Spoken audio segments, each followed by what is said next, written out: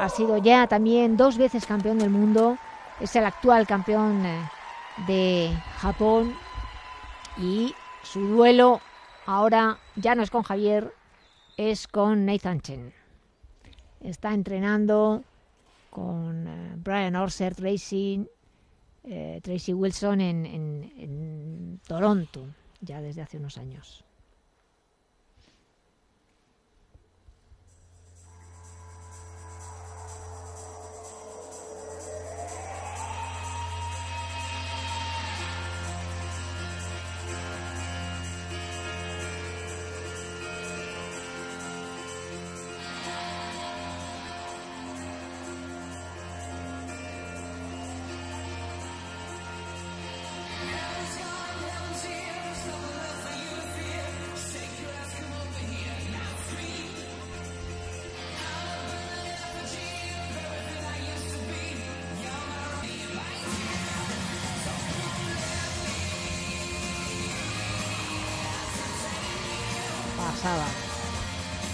De cuádruple salto.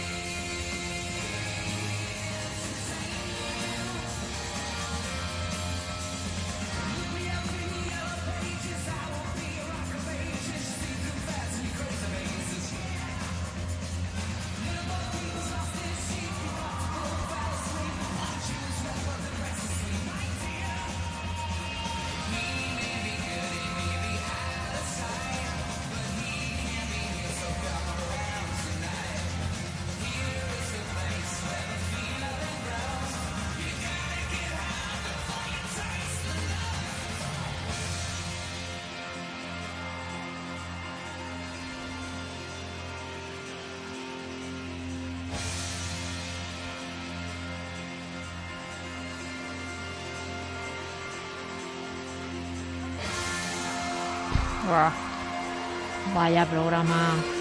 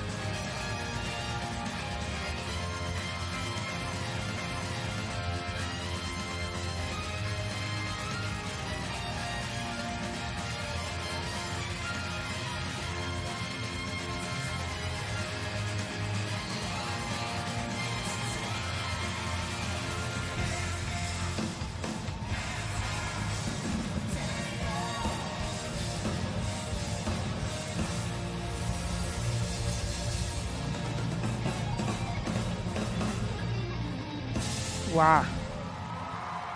Y salió el Yuzuru De más veloz y más potente que esperábamos. Vaya programa. Mira qué puntuación. Llegando casi a los 60 puntos. Ha pegado un salto Brian Orsel cuando ha hecho la salida del triple axel, que era el último salto que le quedaba. Qué pasada, qué cambio de estilo también, ¿eh? que siempre Sí. nos ha- tenía acostumbrados a los eh, programas así de, de son- de- de sonido oriental, más tranquilos, más calmados, pero es, un, es una fiera. Es una fiera este chico. También está el Yuzuru Heavy.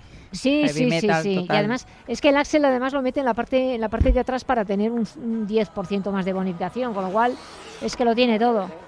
Eh, Y ha caído, ha caído, la salida del triple axel ha sido con un boom de batería Sí. orquestal impresionante, que Sí. todavía te hace sí. más explosión.